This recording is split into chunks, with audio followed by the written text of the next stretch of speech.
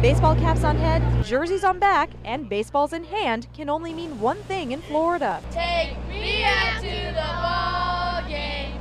Take me out to the crowd. Spring training season is here, and Minnesota fans are out in full force. It's Minnesota Days today, so we had to come. That's uh, annual right with my wife and I coming down to Florida. We can see the twins. Go Minnesota Twins! Hurrah!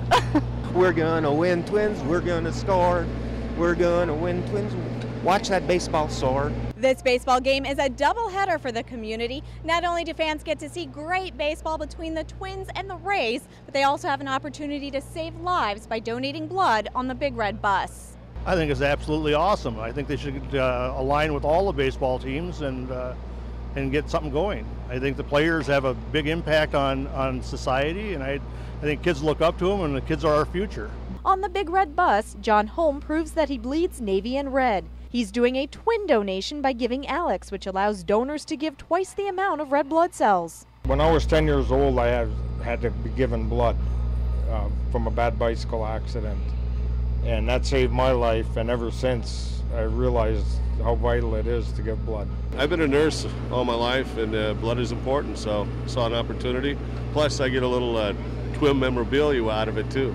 It's kind of cool. These are pretty nice T-shirts or uh, souvenirs, so we thought we'd we'd uh, donate some blood for uh, for souvenirs. Souvenirs that show a spirit even the youngest fans can appreciate. Shout out a home run, shout a hip hooray.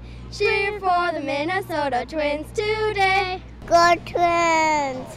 Regardless of which team wins, these fans know for patients at local hospitals they've knocked this one out of the ballpark. Cause it's one, two, three strikes, you're out at the old ball game. Play ball! I'm Nancy Gay for Florida's Blood Centers, where local heroes are saving lives.